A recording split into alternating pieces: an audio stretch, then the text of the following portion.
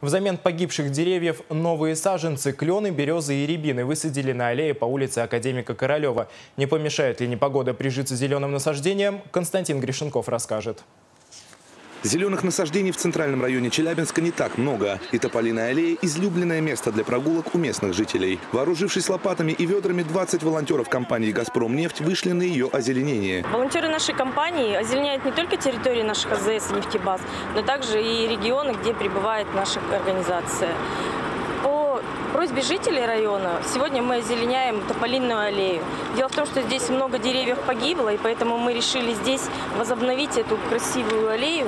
С предложением озеленить город компания «Газпромнефть» обратилась в администрацию Центрального района. Территорию помогли выбрать жители района. Те объемы, которые идут через акции, они не закроют да, э, все объемы города, которые, э, те потребности, которые мы сейчас имеем. Но здесь э, важно как раз именно такое, такое психологическое да, составляющее составляющая, участие самих людей в озеленении, соответственно, это уже другое отношение жителей к городу. В числе жителей района и Надежда Фролова. Женщина 40 лет проработала в лесном хозяйстве и с интересом следит за работой волонтеров. Надежда Фролова уверена, что клены, березы и рябины украсят аллею. Приятно выйти на улицу и увидеть зелень.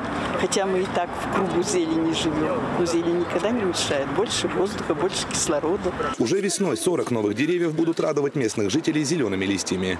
Константин Гришенков, Денис Киселев, Виталий Пастухов, ОТВ.